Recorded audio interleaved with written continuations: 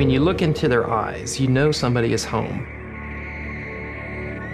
They're an animal that possesses great spiritual power, not to be meddled with.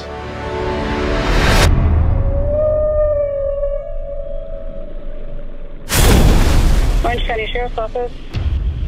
We need SO to respond for a dead person at SeaWorld. A whale has eaten one of the trainers. Tilikum though is the one that went after her. Dawn is the senior trainer here at Shamu Stadium.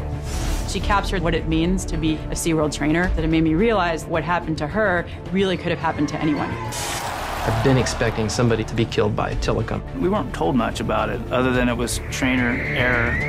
It didn't just happen. It's not a singular event. You have to go back to understand this. The speedboat herded them in, and they could just pick out the young ones. This is the worst thing that I've ever done. When Tilikum arrived at SeaWorld, he was twice as large as the next animal. We stored these whales in what we call a module, which was 20 feet across and 30 feet deep, and the lights were all turned out. Probably led to what I think is a psychosis.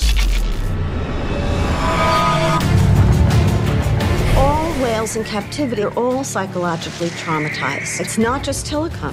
If you were in a bathtub for 25 years, don't you think you'd get a little psychotic? Dawn would tell you that it was her mistake. They blamed her. It's just a bold-faced lie. I was just instructed to get rid of the tape. Industry has a vested interest in spinning these. That sells a lot of Shamu dolls. It sells a lot of tickets at the gate. There's no record of an orca doing any harm in the wild.